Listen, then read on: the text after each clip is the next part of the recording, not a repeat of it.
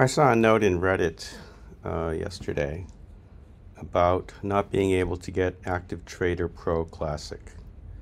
So I went to the uh, Active Trader Pro search for Google, clicked on it, and what do I see?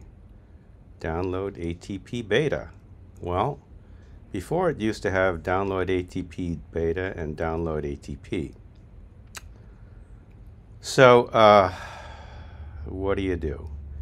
Well, if you want the Classic, there's this little thing here in small letters called ATP Classic.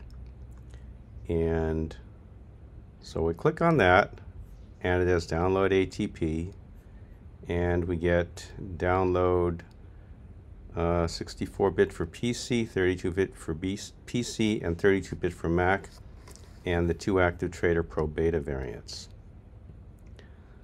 So this is the default. Now, is, is it an accident that it comes this way, or is it just a matter that ATP Beta comes before ATP Classic alphabetically? So what I did was I immediately downloaded ATP Classic Windows and Mac and saved it on my NAS.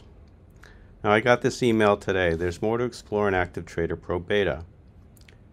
To take your trading to the next level, download the desktop application or log back in to check the latest features, options summary, specific share trading. And they have a couple live events hosted by the trading strategy desks where we discuss trading, sorry, trading tools, strategies, and more. New indicators with ATP, July 28th from noon to 1. Introduction to ATP beta session 1, July 28th from 2.30 to 3.30. Introduction session 2, uh, from 2.30 to 3.30. Now, it's possible that these are the same thing, they just have two sessions, but uh, that's a lot of seminars uh, for one afternoon.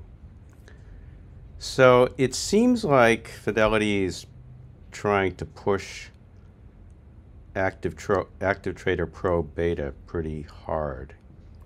Uh, the issue I have is that uh, there's still a bunch of bugs in Active Trader Pro Beta. I've reported several of them uh, a couple of times, and they haven't been fixed. And uh, there's a lot of functionality missing from Active Trader Pro Beta.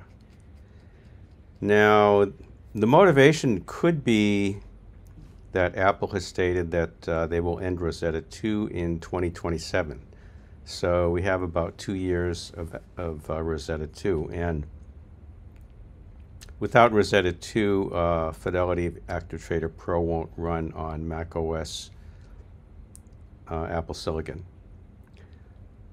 So uh, it, it kind of lights a fire, but I still kind of, I don't see Active Trader Pro beta becoming released in 2025, and it's hard to see it in 2026 at the current pace that they're going.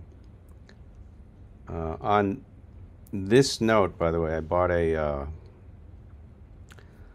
I ordered a new laptop, and it's a Windows laptop so that I can use Active Trader Pro on the road um, I can run Active Trader Pro on my MacBook Pro M1 16, but it's uh, it's not efficient and it heats up the laptop. Um, I also wanted a 14 inch as opposed to a 16 inch because uh, the 16 inch is fine when I'm driving for traveling, but when I'm on an airplane, I prefer uh, something smaller and lighter. If I had to do it over again, I'd probably get the 14 inch MacBook Pro. But I'm going with Intel this time for travel just because of Active Trader Pro and me not seeing that Active Trader Pro Beta is going to uh, go release within the next 12 to 18 months. So uh, if you like Active Trader Pro Classic, uh, you might want to download it and save it somewhere because uh, it might become hard to find at some point. Um, I guess that's my comment. I'll do a review of the uh, the new Windows laptop uh, when I get it. It's not going to be anytime soon. It's a Lenovo Yoga 2-in-1, and uh, I ordered it, I think, on Monday, and it's expected to arrive uh, at the end of the month.